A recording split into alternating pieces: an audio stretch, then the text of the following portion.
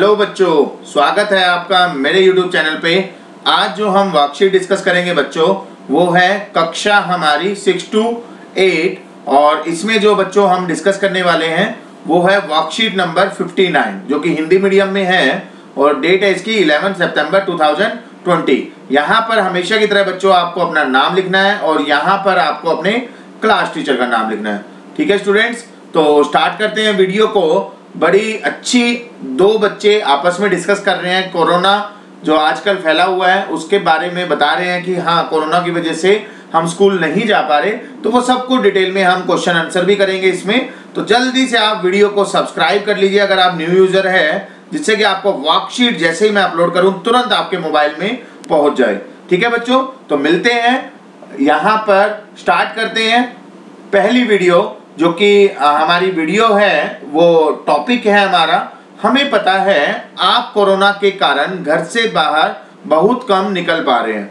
बिल्कुल आ, आजकल जो कोरोना फैला हुआ है इंडिया में पूरे वर्ल्ड में उसकी वजह से हम गवर्नमेंट ने भी और सब जगह सभी ने ये कहा है कि घर से बाहर ज़रूरी है तो ही निकलिए अदरवाइज़ आप घर पे ही रहिए। ठीक है तो इसी कारण हम कोरोना की वजह से ही घर से बाहर कम निकल पा रहे हैं। अपने विद्यालय और कक्षा के मित्रों को तो सबसे अधिक याद कर रहे हैं। आप देखते होंगे कि घर पे रहते हैं तो थोड़ा सा मतलब ज़्यादा टाइम होने के बाद विद्यालय और कक्षा में जो मित्र थे आपके, उनको आप मिस करना स्टार्ट कर देते हो और याद बहुत आती है। इस समय मोबाइल मित्रों, रिश्तेदारों, शिक्षकों आदि से जुड़ने का सबसे बड़ा माध्यम है, क्योंकि बाहर जा नहीं सकते तो घर में बैठे ही अगर आपको मित्रों रिश्तेदार या शिक्षकों टीचर से बात करनी है तो सबसे बड़ा माध्यम क्या है बच्चों? मोबाइल।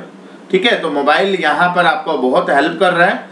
आप कभी कभी फ़ोन पर हालचाल जानने के लिए अपने मित्रों और संबंधियों से बात करते ही होंगे और चिंताएँ और खुशियाँ उनके साथ बांटते होंगे। बिल्कुल आजकल जो है फ़ोन ही एक ऐसी चीज़ है जिससे कि आप बाहर तो जा नहीं सकते, मित्रों, संबंधियों, जिसी से भी बात करनी है, अपनी बातें शेयर करते हो और आपस में खुशियाँ भी शेयर करते हो। आज अपने किसी प्रिय को फ़ोन करके उनका हाल जानिए। आज जो वर्कशीट में हमें करना है बच्चों, वो क्या करना है?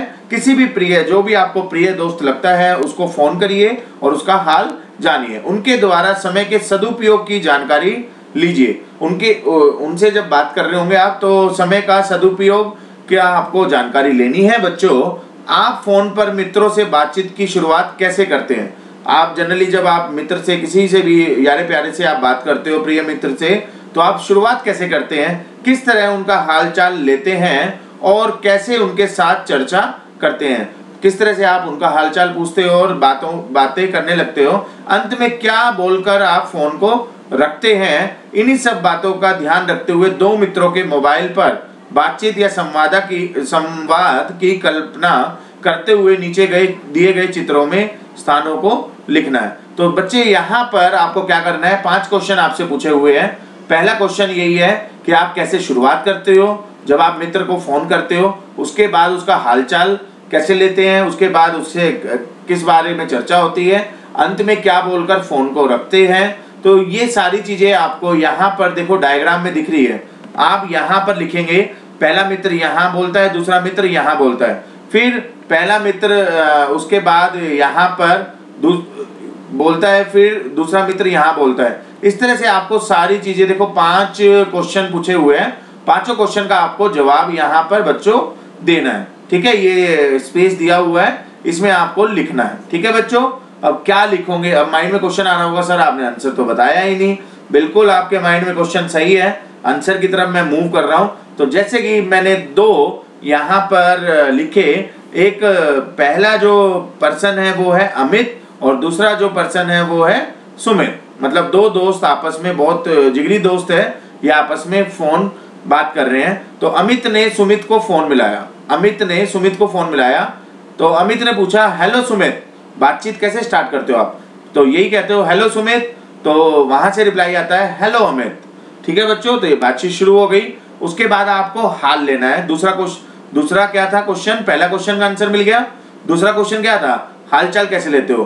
तो फिर अमित पूछता है, कैसे हो सुमित तुम? तो सुमित कहता है, मैं अच्छा हूँ, तुम कैसे हो? तो दोनों ने आपस में एक दूसरे का हालचाल लिया।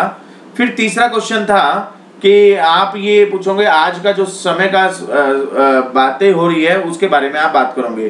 तो आपने आंसर दिया, मैं भी अच्छा हूँ स्कूल की बहुत याद आ रही है। तो आपने सुमित को बोला कि स्कूल की बहुत याद आ रही है। तो सुमित ने कहा हाँ अमित मुझे भी, पर कोरोना की वजह से कुछ नहीं कर सकते। ऊपर लिखा हुआ था, बच्चों, कि कोरोना की वजह से आप स्कूल, विद्यालय नहीं जा पा रहे हो, घर में ही रह रहे हो, और फ़ोन एक बहुत अच्छा माध्यम है बातचीत का। आज के टाइम में जिसमें आप अपने परिवार, अपने सहमित्र या किसी से भी आप बात कर सकते हो। ठीक है बच्चों तो तीसरे प्रश्न का उत्तर मिल गया। चौथा प्रश्न क्या था? वहाँ पर आप ये बताओगे कि हाँ क्या कर रहे हो आप आजकल? तो आपने कहा, अमित ने कहा हाँ कोरोना की वजह से नहीं जा पा रहे तो अमित ने रिप्लाई किया हाँ लेकिन सरकार ने हमारी वर्कशीट करवा कर हमारी पढ़ाई पर ध्यान दे रही है।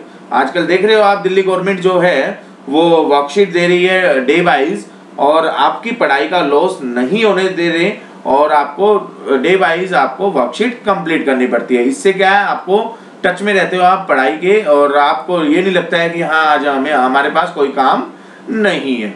तो दूसरा, सुमित कहता है हाँ अमित, ये तो है वर्कशीट करवा रहे हैं और हमारी पढ़ाई पे ध्यान दे रहे हैं। ठीक है बच्चों? और लास्ट में जब आप जाते हो, जब आप डिस्कनेक्ट करते हो फ़ोन तो उससे पहले क्या बोलते हो? कि हाँ बाय सुमित, बाद में मिलेंगे। फिर उसके बाद सुमित भी कहता है बाय अमित। ठीक है? तो इस तरह से क्या है? ये पाँचों क्वेश्चन जो ऊपर दिए हुए थे, ये आपको बच्चों यहाँ पर फिल करने हैं और मैंने यहाँ पर आपके आंसर लिख दिए ठीक है बच्चों? तो वीडियो को जल्दी से लाइक सब्सक्राइब ज़रूर कर ले अगर आप न्यू यूज़र है विद बेल आइकन और फाइनली इसको शेयर ज़रूर करें ज़्यादा से ज़्यादा अपने फ्रेंड सर्कल में जिससे कि वो भी वर्कशीट को टाइमली कर पाए। ठीक है बच्चों? मिलेंगे नेक्स्ट वीडियो नेक्स्ट वर्कशीट में। अभी के लिए थैंक यू